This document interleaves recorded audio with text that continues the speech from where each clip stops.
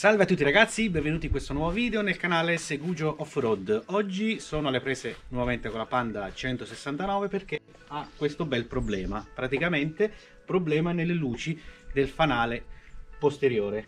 Questo è un problema che riguarda sia le Panda, ma anche a quanto ho letto le Punto, è un problema straconosciuto e eh, praticamente avviene che quando si va a mettere la freccia, in questo caso è la freccia lato destro, perde di intensità mentre la luce di posizione diventa intermittente e addirittura questa perché è il lato destro la luce di retromarcia lampeggia invece dovrebbe essere fissa. Quando si va a frenare si amplifica ancora di più questo problema. Ho fatto un video di sera per farvi rendere meglio conto di questo effetto albero di Natale. Questo è un problema comunque conosciuto ci sono altri video che ho visto e quindi ringrazio eh, i video del canale Il Piccolo Meccanico e del canale THM Garage. Andrò a risolvere questo problema in maniera classica.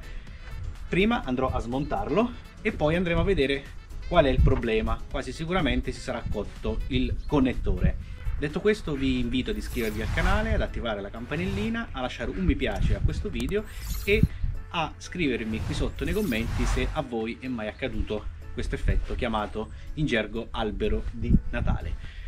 Ci vediamo subito dopo la sigla con la risoluzione di questo problema di luci fanali posteriori della Panda 169.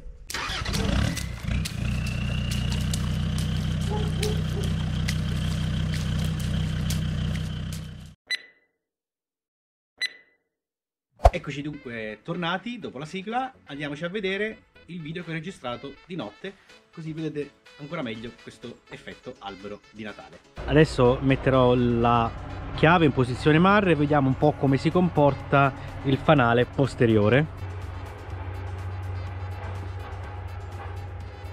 Adesso che ho acceso la freccia, la freccia ha una intensità minore, mentre quella di posizione eh, ha una intermittenza, quindi aumenta e diminuisce la sua intensità. Provo a mettere anche la luce della retromarcia e lo stop. Anche la luce della retromarcia che dovrebbe essere fissa invece lampeggia come fosse una freccia.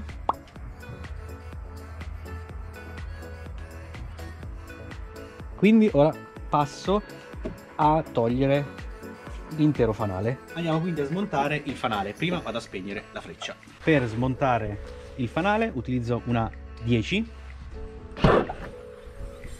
si può utilizzare anche una, un cacciavite a croci. Svitiamo queste tre viti una, due e tre.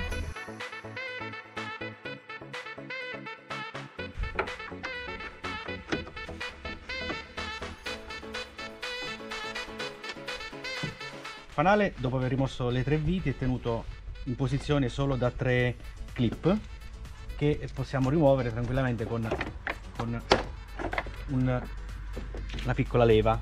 Meglio se di plastica così non roviniamo la carrozzeria. Ora devo rimuovere il connettore semplicemente pigio qui e tiro contemporaneamente. Adesso andiamo a vedere che praticamente la linguetta del centrale che è la massa è bella scura e addirittura la plastica è pure un po' squagliata adesso vi faccio vedere nel dettaglio. E lo stesso è avvenuto nel connettore.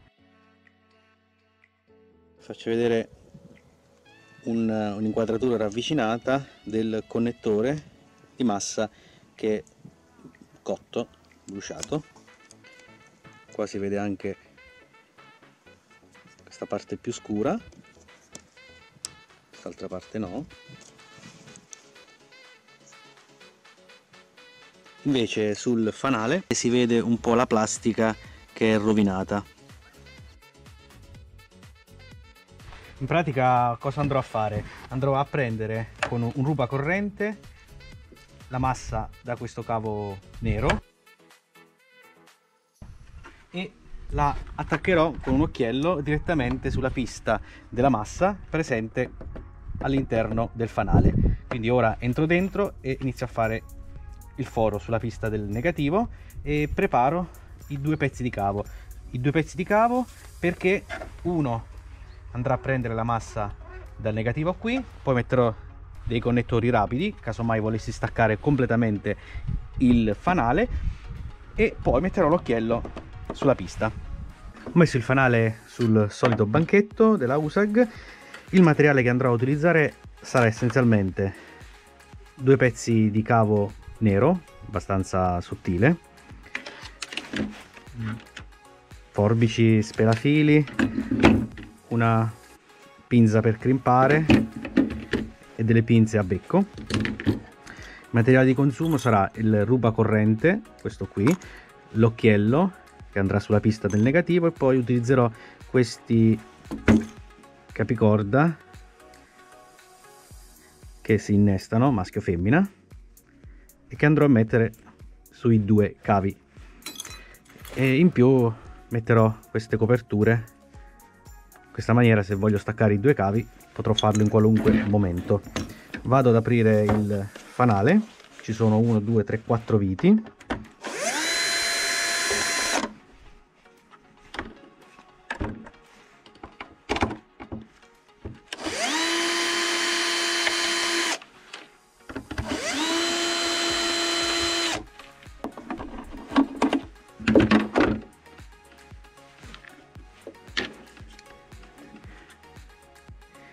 in pratica il connettore che è cotto è quello centrale quindi il terzo sia da sinistra che da destra. Quindi la pista da andare a intercettare è praticamente questa qui che è quella centrale. Andiamo a seguire e troviamo un punto dove poter fare un foro e mettere un occhiello così che crimperò prima sul cavo quindi seguendo possiamo farlo ad esempio qui oppure mm, di qua. Preferisco ovviamente di qua. Poi il filo lo farò camminare lungo questo bordo e lo farò riuscire qui. E poi lo andrò a collegare con i faston capicorda al, al filo nero del connettore. Quindi ora preparo il filo col capicorda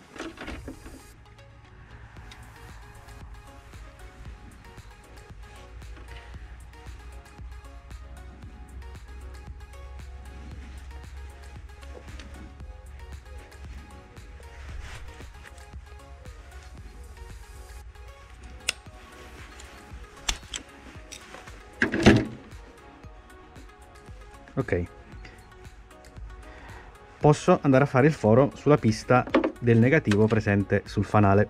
Se vogliamo essere sicuri sicuri che questa qui sia la pista ma di massa in comune con tutte, possiamo fare, possiamo fare questo piccolo esperimento. Prendo una batteria, due connettori a coccodrillo, uno sul positivo e l'altro sul negativo il negativo lo lascerò sempre fisso.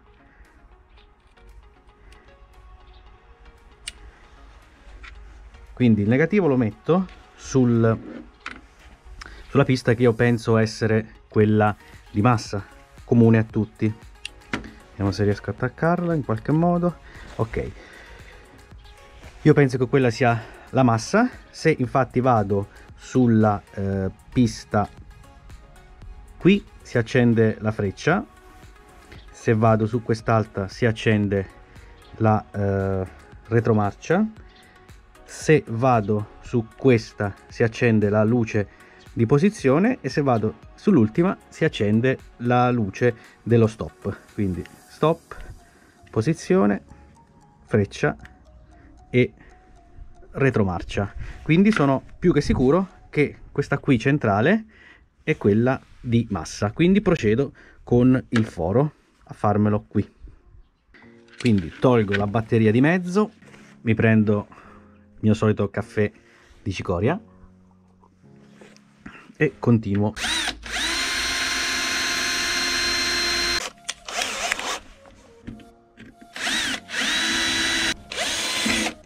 Una volta fatto il foro metterò una vitina e attaccherò questo capicorda occhiellato.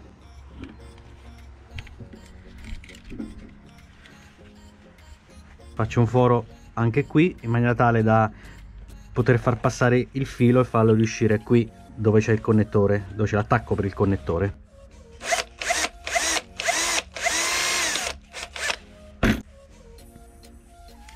Faccio passare il filo e lo faccio riuscire qui e poi ci metterò il capicorda uno di questi. Vado a mettere la vite.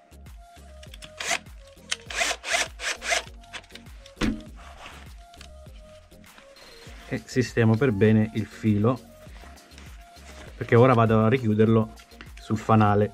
Una volta sistemato il cavo con l'occhiello e la vite provvedo a rimontare il tutto nel verso corretto. E rimetto le quattro viti.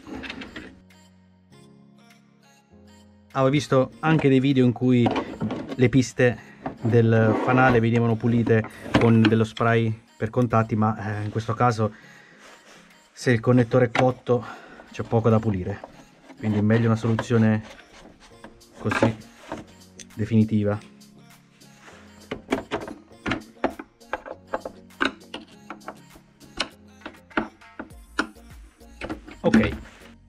questo cavo ho deciso di lasciarlo abbastanza lungo in maniera tale da avere più comodità nel, nell'installazione.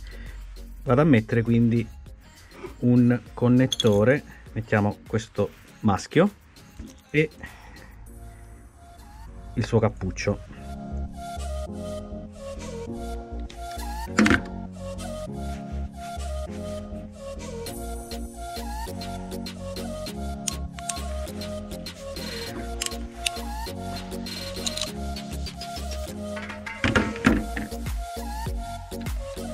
ok. Quindi ora per quanto riguarda il fanale ho concluso. Non mi resta che tornare all'auto mettere ruba corrente che andrà a intercettare il filo di massa e in questa maniera non andrò a tagliare o a spelare il filo preesistente in maniera tale da poter fare una modifica reversibile e vado a mettere l'altro connettore e ci metto in questo caso una femmina con ovviamente il suo cappuccio.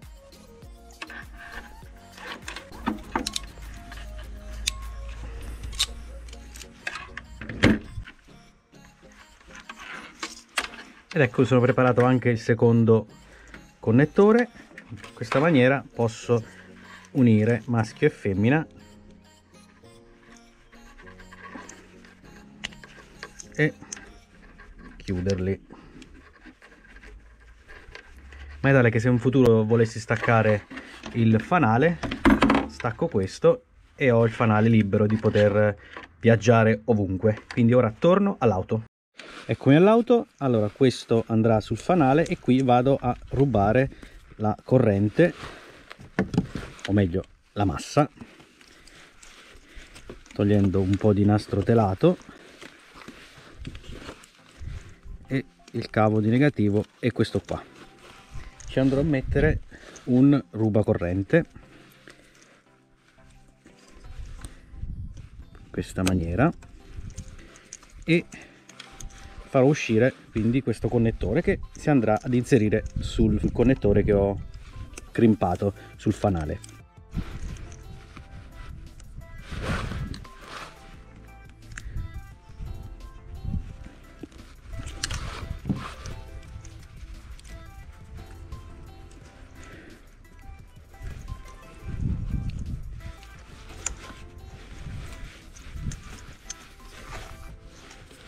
rimetto un po' il nastro telato quindi ora non mi resta che ricollegare il connettore originariamente come stava.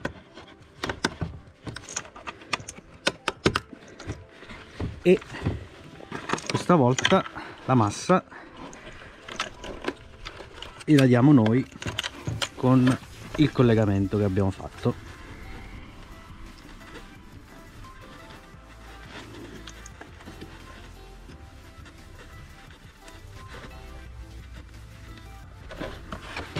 ok. Il cavo è abbastanza lungo quindi ci metterò una fascettina.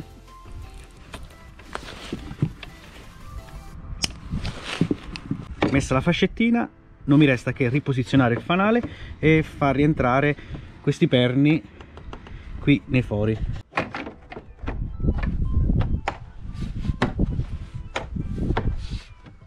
Prima di rimettere le tre viti vado a vedere se il lavoro è che ho fatto ha avuto successo e quindi funziona.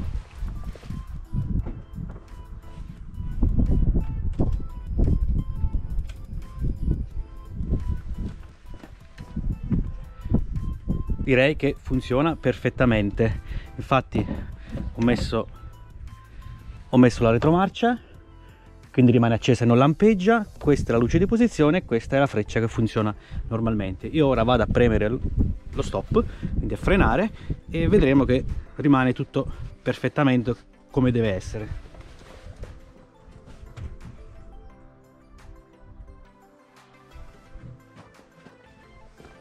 Direi che il lavoro è perfettamente riuscito quindi vado a concluderlo mettendo le tre viti da 10 e con questo cari iscritti del canale Segugio Off-Road è tutto. Vi ringrazio per aver visto questo video. Spero vi sia stato utile per la risoluzione di questo problema che affligge la Panda ma anche la Punto eh, se avete trovato questo video quindi utile mi raccomando mettete il mi piace iscrivetevi al canale attivate la campanellina e lasciate um, un commento qui sotto. Se non siete comunque sicuri di quello che fate rivolgetevi in questo caso ad un elettrauto. Con questo è tutto un saluto e alla prossima